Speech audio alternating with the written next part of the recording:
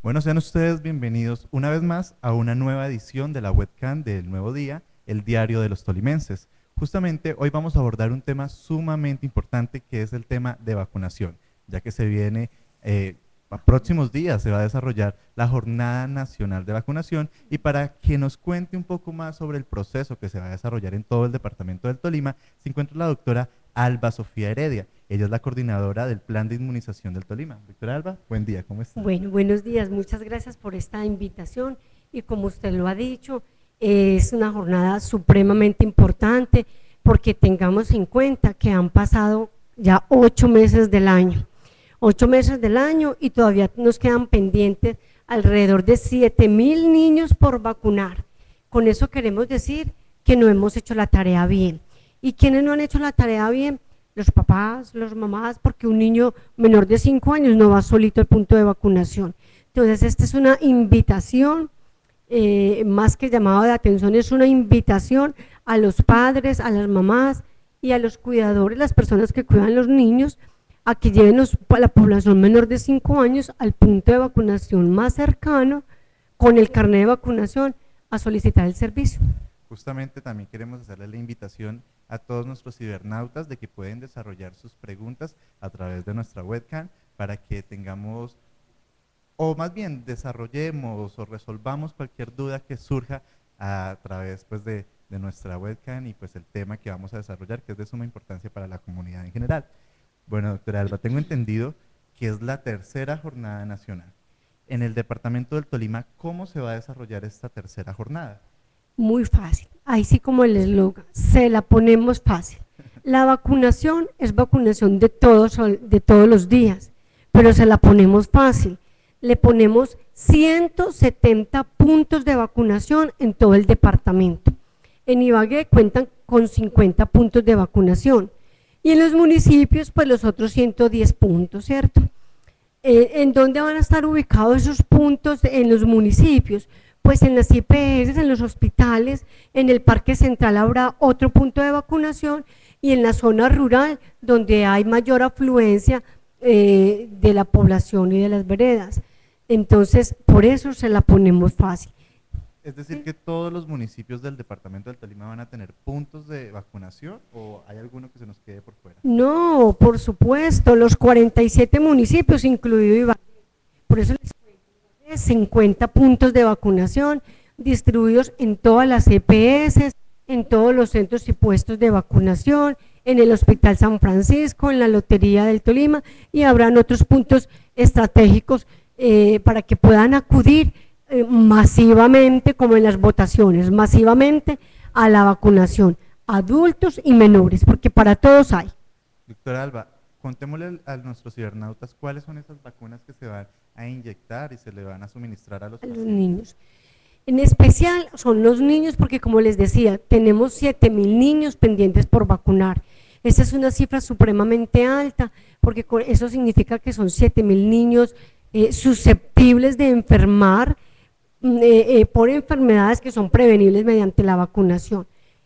¿Qué le vamos a poner? Le vamos a poner poliomielitis, pentavalente que contiene difteria, tosferina, le vamos a poner fiebre amarilla, vacuna contra, la, contra el sarampión, la rubeola y la parotiditis, le vamos a poner vacuna contra rotavirus, que es la forma de, de las infecciones gastrointestinales graves, le vamos a poner vacuna contra el neumococo, contra hepatitis A y ahora hace poco, disculpen, a partir de julio se introdujo una nueva vacuna que es la de la varicela.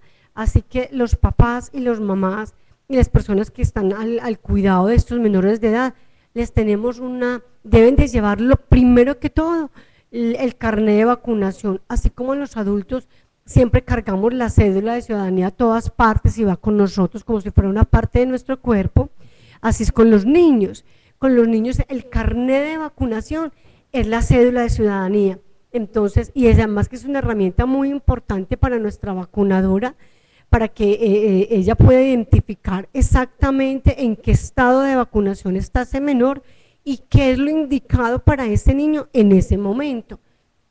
Justamente ya empiezan a llegar las preguntas a nuestra webcam y Lina nos pregunta si el niño se pasó de la edad de vacunación puede, de la vacuna, perdón, puede llevarlo a vacunarlo, pues tenemos entendido que hay como una edad específica para cada vacuna. Empieza, el niño empieza la vacunación a partir de los dos meses, es a los dos, a los cuatro, a los seis, al año, a los 18 meses y a los cinco años.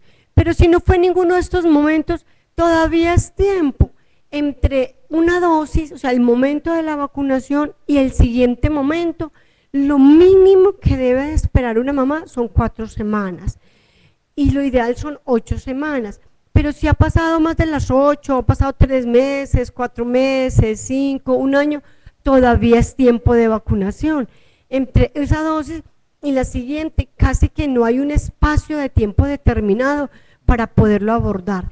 Lo ideal es como, como seguir ese, ese, paso sistemático que por organización y como por ir cerrando, como quien dice ciclos, pues eh, es bueno ir así dos, cuatro, seis, al año, siete meses, porque los siete meses se pone la influenza, pero si ha pasado un poquito de tiempo, bienvenido es, porque no le ha quedado tiempo, porque la mamá ha estado trabajando, porque por las razones que tenga ese papá y esa mamá, lo puede llevar.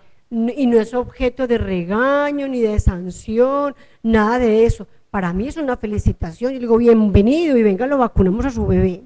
Bueno, otra cibernauta nos pregunta, Andrea, si el menor no tiene carnet ¿Qué puede dar, perdón, me pueden dar una copia del carnet o cómo se hace? Si el papá o la mamá ha embolatado, mejor dicho, si se les ha embolatado ese carnet de vacunación del menor, sí debe de acudir al, al hospital o al punto de vacunación donde acostumbra llevarlo. Allí se conserva la historia de vacunación.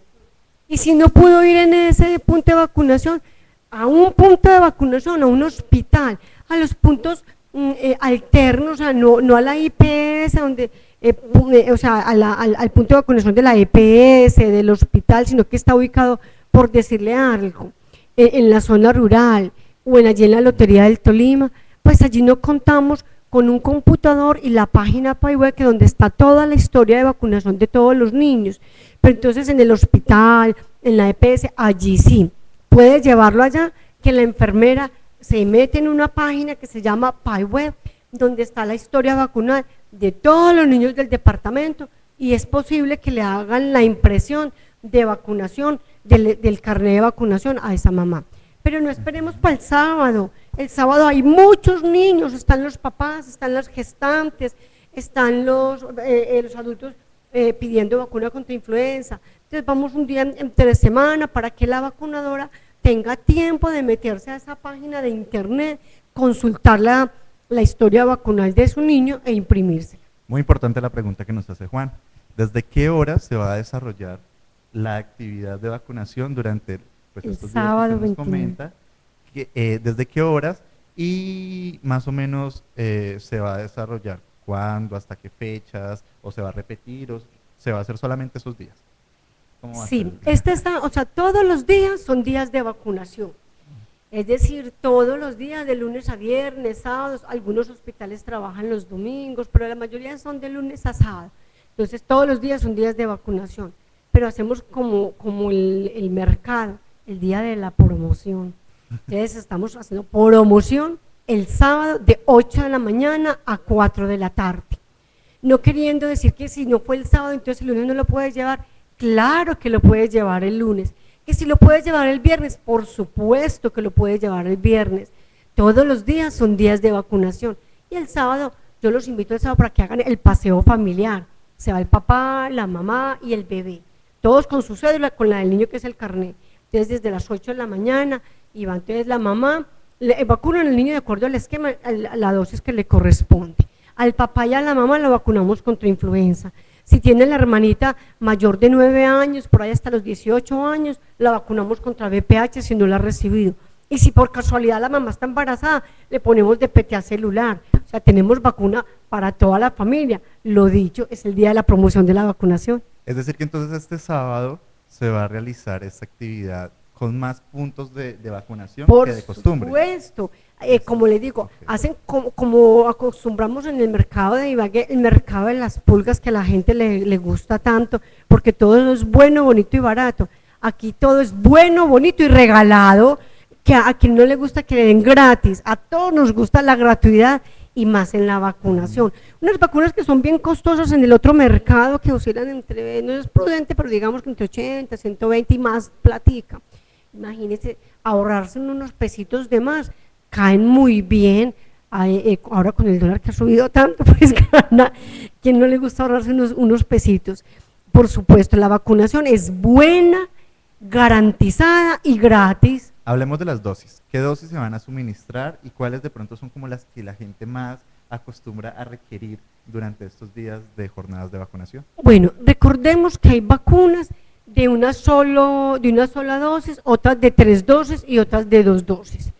Empecemos con el esquema. La BCG, que es para recién nacidos, se le aplica una dosis única en la vida, o sea, tan pronto nació, en ese primerito mes, ojalá el otro día se vacune contra BCG y no tiene que volverse a vacunar.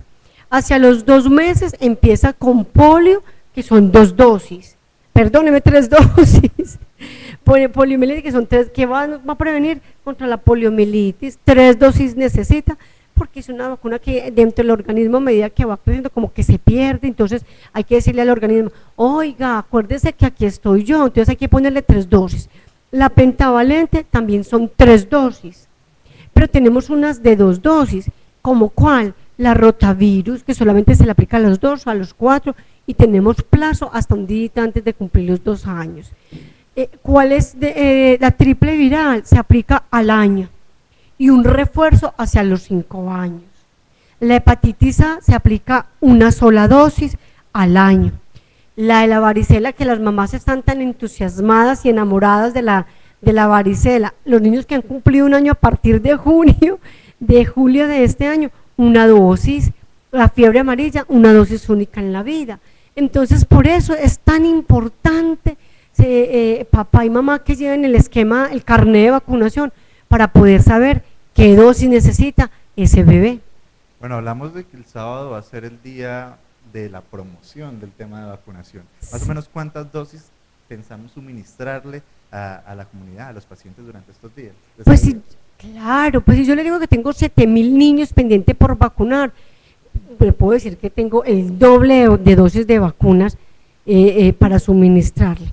Es decir, la excusa no puede ser de que ah, es que yo fui y no había vacuna. No, esa es una mentirilla que pueden decir por ahí y no está bien. El departamento eh, ha sido muy afortunado porque nunca le ha faltado dosis o, vacunas para suministrar a nuestra población.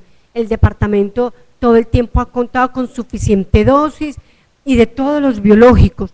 Es decir, vayan con confianza, confiados, seguros, por eso digo, armen su paseo de familia, aguantan un poquito de sol, se comen el helado y se vacunan todos. ¿Qué impedimentos hay para que una persona o un niño se vacune? Solamente hay unas muy, muy absolutas que son eh, el paciente que está inmunocomprometido, es decir, que sus defensas están supremamente bajas, que reciben tratamiento para el cáncer, eh, que están en proceso de radiación, pero usualmente son, son los adultos aun, cuando hay niños menores de edad, menores de 5 años que están dentro de este proceso, eh, eh, si no se les debe vacunar o, deben, o se pueden vacunar en una IPS o con la orden médica.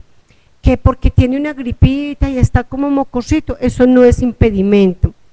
Que porque eh, le dijeron que su estado nutricional no es el más adecuado, eso no es impedimento. Todo lo contrario, la vacuna le ayuda le ayuda a mejorar sus defensas. Entonces realmente, no, a menos que tenga una enfermedad eh, que, estuvo hospitalizado ayer y que hoy salió porque tiene una bronconeumonía, pues sí, esperemos un poquito que se recupere, pero porque estuvo hospitalizado y ya en la unidad de cuidados intensivos o simplemente en, la unidad de vigilancia, entonces ahí sí se debe de esperar. Pero si el niño ha estado yendo al colegio, eh, los niños cuando van al jardín, todos tienden a, dar, a darles gripita a todos al mismo tiempo porque como están, son tan cercanos, se prestan la cuchara, los juguetes, entonces se contagian de la gripita. Pero la gripita normal y común y corriente no es impedimento para vacunar, acceder a la vacunación. Bueno, usted ya nos mencionaba hace unos momentos sobre los lugares que se tienen previstos para vacunación. Me dice que en Ibagué hay aproximadamente 50, pero nos preguntan cuáles son esos puntos eh, de mayor afluencia o los más relevantes para que la gente asista al tema de vacunación. En todas las CPS, en el Hospital San Francisco, en la Lotería del Tolima, en el centro comercial, en multicentro, allí hay puntos de vacunación. De todos modos, los vamos a promocionar por toda la periferia del municipio, eh, en todos los, los, los, puestos de vacunación, en Comeva, Salud Salud Total, en la policía, eh, todas las CPS que tienen punto de vacunación, allí van a estar. Que en el puesto de salud del Kennedy, que en el 20 de junio, que en el Yuldaima, allí también va a haber punto de vacunación. Además de esos otros que son, como quien dice, extramurales, fuera de los acostumbrados. Allí también van a estar las, las vacunadoras con su termo y con todos los biológicos a la disposición de todos los papás, las mamás y los bebés. Bueno, ya que estamos hablando del tema de vacunación, hay una duda que se ha empezado a surgir, o más bien hay, desconocimiento más bien con relación al tema de la vacuna contra eh, el, papiloma humano, sí. A mí ya me causa gracia. Sí, ¿por qué? Porque nos dejamos contagiar. Yo no sé por qué los colombianos, porque somos los colombianos, pero como estamos en el Tolima, hablemos del Tolima. Eso vienen y nos dicen cuatro palabritas y todos, ay, sí. Pero entonces aclárenos las dudas. la, esa, esa historia que salió en la televisión, el cuarto poder son los medios de comunicación, los periodistas. Y los periodistas o nos suben a la gloria o nos mandan al otro lado. Entonces le hicieron muy mala propaganda, eh, eh, eh, mentes malintencionados, corazones dañados, perturbados, allá en el Carmen de Bolívar, que querían ganarse unos pesitos extras a costa de que las niñas hicieran teatro, se hicieran las desmayadas y todo eso.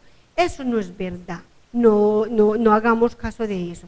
Si el Ministerio de Salud, si el gobierno tuviese una duda así de chiquitica frente a esa vacuna, créanme que no se va a exponer, porque ahí sí se vienen todos los organismos de control encima del gobierno, entonces estamos dando una vacuna gratuita pero segura, que ha abarcado todos los estudios. Eh, eh, lo que pasa es que nuestros adolescentes de los 9 a los 15, 18 años, los niños, esos jóvenes ya se sienten grandes y dicen, es que yo ya tomo autoridad sobre mi cuerpo. ¿Y a quién le gusta que le peguen un chuzón? A nadie, a todos nos asusta. Entonces eh, se ponen un poquito como prevenidos, entonces por eso les dice, estén calmaditos, tomen un vaso con agua, quédense sentados pero realmente es una vacuna segura. Esos eventos adversos que salen en las redes sociales, allí no hay mucha verdad. Para colmo de males, eh, dan datos, eh, cifras inventadas, mal, mal conseguidas, porque no son, no son de fuentes fidedignas, sino que hacen una tabulación de cuatro o cinco personas y son de una selección adversa. Pero realmente la vacuna es completamente segura. Es decir, que no puede generar de pronto en un futuro algún tipo de reacción en contra de las, las pacientes que se inyecten esta vacuna. Por supuesto, son seguras. Hay una cifra muy buena y es que hemos en el Tolima 2012, 13, 14, 15 llevamos alrededor de 100 mil dosis aplicadas, 30, más o menos 100 mil dosis aplicadas en, los tres años y no hemos tenido casos reportados de, reacciones indeseables. Por allá el otro día sí salió una señora, pero era una niña que venía enferma desde hace tiempo, que tal vez la informaron mal, pero realmente como consecuencia de la vacuna no. Entonces esas, esas son, o sea, para el Tolima. Y fíjese que en el país que tampoco haya salido a la luz pública más datos, no, solamente una niña está allá en Carmen de Bolívar. Entonces por eso digo, a veces nos dejamos contagiar de, de, mentes y corazones enfermos. Bueno, Juan nos hace una pregunta muy válida. ¿Cómo saber si soy alérgico a algún tipo de vacuna eh, y si los hijos de uno son alérgicos a ellas?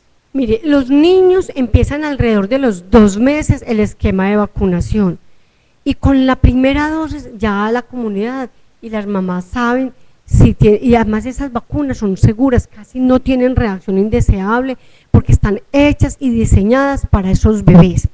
cerca del año, o sea, al año que le aplicamos la triple viral y la fiebre amarilla, que sí a veces producen un poquito como de alergia, ya la mamá le ha aplicado, le ha dado huevo al niño. Y si hay unas mamás que dicen, es que yo le doy un poquito de huevo al niño y el bebé se me pone, eh, le da rasquiñas, se le pone colorado, le salen como unas ronchitas. Ah, pues a ese niño si no hay que vacunarlo, hay que esperar que le pase como esa alergia al huevo porque esas vacunas sí están en embrión de pollo y se pueden causar reacción indeseable. Pero hay que esperar que se desensibilice, hay que esperar que, los niños, eh, eh, de, cuando ya le han suministrado huevo, que es cerca de, o sea, después del año, ya a partir de los nueve meses la mamá le está dando huevito. Entonces, que le dé la puntica, el untado, que le vaya dando la yemita, y a medida que cada dos veces a la semana, día de por medio, cuando la mamá sienta que ese bebé ya se come el huevito y no le pasa nada, pues va al punto de vacunación y no y ya puede responder para esas vacunas en específica, fiebre amarilla y triple viral. Porque la de la influenza se aplica a los seis meses y no presenta reacción indeseable ni en adultos ni en los niños menos y puede repetirla a los siete meses.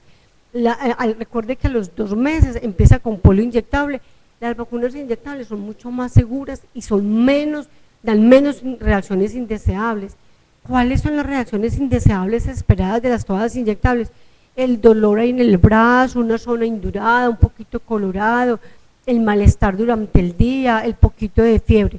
¿Qué hay que hacer?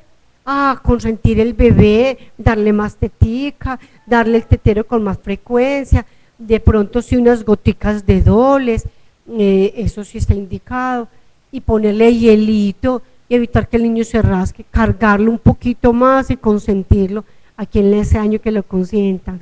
Ah, no, eso es muy rico recibir amor, eso hay que hacer con el bebé, darle más amor del acostumbrado y va a ver que su niño en dos días ya está bien. De pronto, ¿cuáles son aquellas vacunas que pueden generar ese tipo de, de, de pronto de fiebres, de este tipo de dolores. Eso es lo esperado con todos los biológicos, además que les ponemos, a los dos meses le ponemos eh, poliomielitis, eh, neumococo, rotavirus y pentavalente. Entonces estamos aplicando cuatro vacunas al mismo tiempo, de los cuales son dos chuzones. Entonces, pues claro, hay un poquito de, malestar, de incomodidad, puede presentar un poquito de llanto, pero no ese llanto persistente y prolongado, no, ni convulsiones, eso no es normal, ahí debe de ir el momento al punto de vacunación. Pero realmente los niños les da pues sí el malestar, como una fiebrecita, eso es normal y eso lo esperamos. Listo, bueno, entonces hablemos sobre la actividad a desarrollar específicamente. En la actividad tengo que llevar algún tipo de documentos fuera del carnet de vacunación, eh, va a haber gente eh, a la entrada que me esté direccionando, ¿cómo vamos, más o menos se va a manejar el proceso? Empezamos a las, a las 8 de la mañana eh, con la bendición de nuestro Padre Creador, con la bendición de Dios, que Dios es universal y es para todos, es el que nos acompaña. Empezamos con eso, vamos a partir de las 8 y, hay que llevar el carnet de vacunación. ¿Qué más hay que llevar? Ganas, muchas ganas, no hay que de pronto mil pesitos para comprar tres heladitos de 300 pesos, uno para el bebé y dos para el, y dos para el papá y para la mamá, no más. Pero si no los tiene listo, es probable que en algunos puestos les den un dulcecito a los niños o una bombita, en algunos, no en todos. Pero si no se les da listo, no hay ningún inconveniente. La idea es que vayamos todos eh, y, que vayamos con el carnet de vacunación y ya, no, y muchas ganas y fe, no más, con eso es suficiente, ¿para qué más? Hay gente que dice, bueno, yo no he vacunado a mi hijo y hasta el momento no le ha pasado ninguna enfermedad, no, no ha tenido nada. ¿Qué decirle a aquellas personas que de pronto dicen este tipo de cosas? a que tengan confianza, que vuelvan, que vayan con el bebé, que le dé las goticas de doles, que le ponga el hielito, que consienta más ese bebé. Esa es la solución, no hay más que decirle ni más que hacer que invitarlo a que vaya confiada y segura que en los puntos de vacunación tenemos personal debidamente capacitado, con todas las habilidades, con toda la destreza y con todos los biológicos totalmente seguros y garantizados para el bebé, para la mamá gestante y para el adulto. Hace algunos momentos hablábamos justamente de los biológicos, pero nos quedó en el aire saber cuáles son como los que más se suministran en el departamento del Tolima o los por los que va la gente más a pedir. Es que el esquema de vacunación es ese, eh, pentavalente, rotavirus, neumococo, la varicela, hepatitis A, triple viral. Ese es para los niños, ¿cierto? Para los adultos de pronto que no hemos mencionado, ah, hay que recordar que la varicela es un, es un biológico nuevo para los niños que empiezan a cumplir año a partir de julio. Entonces es nueva, entonces hay que ir a solicitarla. Para los adultos, para las mamás gestantes, para las mamás gestantes tenemos DPT a celular. Y es importante anotar que hemos presentado casos de bebés con tosferina, es decir, niños que todavía no han, no han llegado a los dos meses y se nos enferma de tosferina. Ahí podemos decir, ¿por dónde se contagió?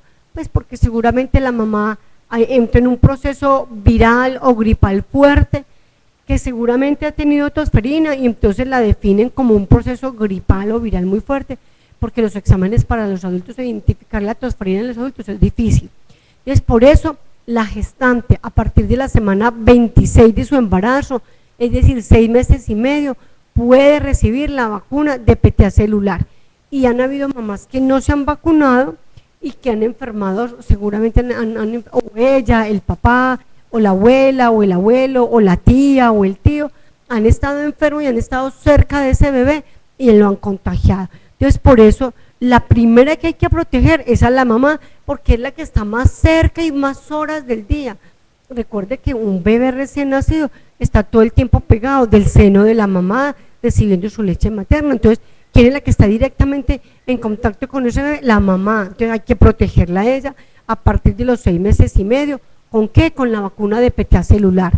Con los adultos, con el resto de la comunidad, con influenza, para que no nos dé esas gripas fuertes y que usen su tapabocas así, con influenza que está a la disposición de todos los adultos, todos pueden, excepto pues los que estén ahí hospitalizados y que tengan esas, esas, eh, ese sistema inmunológico comprometido y que estén recibiendo esos medicamentos especiales. El resto, todos están ahí eh, eh, pues, pues dispuestos para recibir la vacunación. Un, un, tema que ha estado pues muy en auge es el chikungunya. Las personas que tengan o padezcan de pronto eh, chikungunya pueden vacunarse, no lo pueden hacer, más o menos. ¿cómo se maneja si está dentro de esa primera semana que tiene que guardar, recordemos primero que todo que vacuna contra el chikungunya no existe. No existe. Mal haría yo en decir esa mentira. Les aclaro, contra el chikungunya no existe, ni contra el dengue no existe. ¿Qué existe? Prevenirnos, como que como usted lo hace, manguita larga, para los bebés ponerle el toldillo, recoger todas esas llantas que están ahí, que los floreros y aguas y los inservibles, eso que tanto eh, nos han promocionado, eso. Y contra el chikungunya, si está dentro de esa primera etapa, que tiene que guardar reposo, hidratarse muy bien, estarse acostadito, pues en esta fase es mejor no esperar a que pase como esa fase aguda, porque pues si uno está bien indispuesta, le duele el cuerpo, le duelen las articulaciones, pues ¿qué lo vamos a chuzar? Lo mejor es esperar que pase la etapa aguda y luego sí, posteriormente se puede vacunar. No hay contraindicación, pero cuando pase esa etapa aguda, ¿cierto? Lo mismo, se ha tenido un dengue que está con petequias, acostado, con fiebre, que no puede, que no puede, que su cuerpo no le responde y no se puede levantar pues esperemos a que pase esa etapa aguda y luego sí nos podemos vacunar. O sea, es que el cuerpo mismo se lo dice, hay que oír a nuestro organismo y el cuerpo de una vez le va a decir, no, espérese un poquito, entonces que ir, llevarle la contraria a nuestro organismo. Nadie mejor que conozca su organismo que usted mismo. Hace unos momentos hablábamos sobre el papiloma y nos decía que no hay, no hay cifras en el departamento del Tolima donde mencionen que hay personas que han tenido una reacción luego de esto. Hay cifras que señalen otro tipo de eventualidades en cuanto al tema de vacunación. Muy poquitas, de pronto que al niño se le hace la, induración, al, bebé, hablando de los bebés, se le hace un poquito de induración, pero pues se le pone en observación las recomendaciones. Pero del, del virus del papiloma, realmente, en el departamento no. Y las cifras que tenemos, con las que contamos actualmente, son las que mm, las mal concedidas y que han salido a la luz pública, pero realmente cifras a ciencia cierta, estudiadas, con seguimiento, no tengo conocimiento ni nos han llegado pues como reporte de esto al departamento que en tal que en otro departamento se presentaron, no tengo cifras oficiales, las cifras que tiene todo el mundo que, que maladversas, pero cifras oficiales no se cuentan. Pero en cuanto a otras vacunaciones, ¿se han registrado de pronto cifras de reacciones importantes en otro tipo de vacunaciones? Por eso le digo, en el departamento no. Lo que le digo, la, de pronto la induración, el malestar general, eso sí, pero como reacción indeseable, que yo diga que ese niño le dio una anafilaxia, que no, no tenemos esas cifras. Listo, perfecto. Entonces no queda más sino hacer la invitación para que todos puedan asistir a esta jornada de vacunación, donde pues se va a colocar mayor apoyo por parte de las autoridades para que la gente pues asista y no se queden, principalmente los niños, sin las vacunaciones esperadas. Eso, recordemos que todos los días son niños de vacunación, que la vacunación es un gesto de amor cuando el papá responsablemente lleva al niño a vacunación, que se la ponemos fácil, con 111 puestos urbanos y 56 rurales. Eh, eh, son un poquito más los rurales. Y acuérdese que, que en Ibagué contamos con 50 puntos de vacunación, entonces se la ponemos fácil, acudamos masivamente a todos los puntos de vacunación para que luego el bebé, o sea, le demos a ese bebé garantía de salud, una salud con calidad y bueno. Bueno, pero antes de, antes de que nos despidamos, hay un tema que nos queda por fuera, que son los mitos con relación a la influenza. La influenza, eh, pues también ha dado mucho eh, de aquí hablar en los últimos años y se han generado un par de mitos alrededor de esto. Cuéntenos un poco sobre Lo que pasa es que la influenza, mire, los, eh, la influenza se la ponen los niños a los seis meses, a los siete meses y de ahí en adelante. La primera vacunación, es, o sea, y es la población que primero debemos de capturar y está indicada para los adultos mayores. Si esta vacuna fuera, tuviera pues alguna contraindicación, no se la suministraban a los niños y ni tampoco a los adultos mayores. Recuerde que el organismo a medida que va pasando el año, pues no va perdiendo capacidad de respuesta, su sistema inmunológico va bajando. Es una vacuna totalmente segura. Lo que usted dice, mitos son mitos. Es que nosotros de adultos nos cuesta más trabajo eh, el chuzoncito y entonces somos más llorones que los niños. Entonces, ay, me dolió. Hay, hay un poquito de mito y es que yo me vacuno contra la influenza y que entonces me dio una gripa más fuerte ah, ya estaba, ya estaba esa, esa gripita, ya seguramente se estaba gestando ahí, se estaba incubando en ese organismo y llegó la vacuna contra la influenza, entonces puso el organismo como a la defensiva, en alerta y de pronto pues hubo esa pequeña eh, indisposición. Pero ¿por qué es importante vacunarnos? Porque acuérdese que el, virus de la influenza es un virus que es mutante, o sea que permanente está cambiando. Entonces, entre mayor vacunación tengamos, vamos como a hacer como el comercial, bloqueo, bloqueo, bloqueo. Entonces vamos a bloquear a, esa, a esa vacuna de que se esté mutando, que esté cambiando, entonces más fácil la vamos a atacar, que vamos a tener población más segura. Entonces no, no hay ningún inconveniente. Bueno, perfecto. Pues yo creo que para despedirnos ya podemos hacer un recorderis más o menos de cuáles son las vacunas que se van a aplicar, a qué horas, qué lugares y que a partir de las 8 de la mañana. sí, totalmente. No les había contado que era totalmente gratis. Acuérdense que es buenas, seguras y gratuitas. Entonces, a partir de las 8 de la mañana, con el carnet de vacunación, todos, vayan todos masivamente, que cuando eh, eh, todo es gratis, es muy rico. Vamos todos masivamente, el papá, la mamá, los abuelos, las hermanitas, los tíos, todos a vacunar, porque para todos hay para ahí tenemos 21 biolotipos, tipos de biológicos para vacunar, pero dosis para todos hay. Vayan con toda seguridad a esos 56 puntos de vacunación que tenemos en Ibagué, a los otros 110 puntos que tenemos en nosotros 46 municipios, masivamente, que para todos hay no van a perder el viaje. Con toda seguridad, hay, eh, en las cavas y en los municipios tenemos alrededor de 13 mil y 24 mil dosis para todo el mundo. O sea, vacunación gratis, se la ponemos fácil. Tenemos de todos los biológicos y todas las dosis suficientes. Y lo mejor de todos, gratis. Bueno, perfecto. Muchísimas gracias a ustedes, doctora Alba Sofía Heredia. Ella es la coordinadora del plan de inmunización del Tolima que hace la invitación para que asistamos masivamente a la tercera jornada nacional de vacunación que se va a llevar a cabo durante este sábado. Listo, quedan cordialmente invitados y no me olviden, me vuelven a invitar para la próxima jornada. Claro que sí. Muchísimas gracias a ustedes, cada uno de nuestros cibernautas que estuvieron ahí pegaditos de toda la información en esta sección de la webcam del Nuevo Día, el Diario de los Tolimenses. Nos vemos en una nueva edición de la webcam. Muchísimas gracias por acompañarnos y seguimos ahí en contacto de cada todos. noticia que acontezca.